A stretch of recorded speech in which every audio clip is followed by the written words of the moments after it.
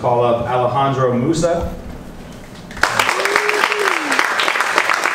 I met, uh, when I met Alejandro, he had an idea of starting an indoor skate park. Um, that's really what he came to Divergent U with. And throughout the course of the semester, that progressed a little bit. So I'll let him kind of account that journey for you guys. Thanks, Sam.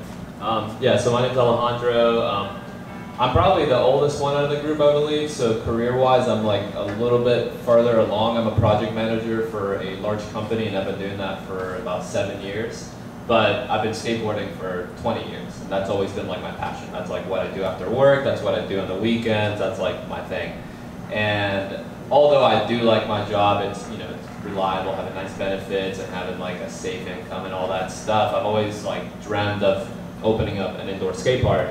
So I joined Divergent U to get into the specifics and build out a business plan and like look at the money side of things and look at like the programming and my idea essentially was to connect like skateboarding with education. So the park is going to have after school programming, like summer camps, a lot of stuff like that, which there isn't much of at the moment.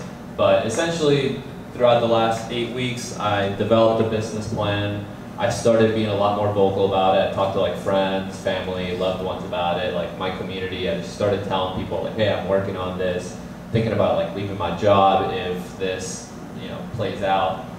And built a business plan, learned a lot of stuff about the industry, about the market, um, figured out all the financial stuff. And probably about two weeks ago, um, out of nowhere, I was presented with an opportunity uh, from somebody who is a skate park designer and consultant and who's been doing it for like 20 years. And this guy essentially built skate parks throughout the whole world.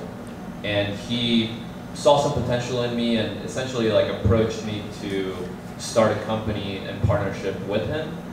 And about two weeks ago, I pretty much had to kind of make the call of like, all right, I'm either going to continue to work on this business plan or just like shut it off and just like switch gears to like this new opportunity. And I essentially I'm gonna take on this new opportunity because it's more scalable. Like instead of just building one skate park here in Orlando, with this opportunity I could have access to a network of like building skate parks all over the world. So it's like, it's an amazing opportunity that is, you know, there's a lot of uncertainty on like where that's gonna go in terms of like my partnership with this individual and things, but it's looking really promising. But my biggest takeaway for you guys is that like that other opportunity would have, would have never come up if I didn't start the business plan and start talking about it to like friends in my community. They would have never known that I was like thinking about leaving my really reliable job to like try to do something in skateboarding.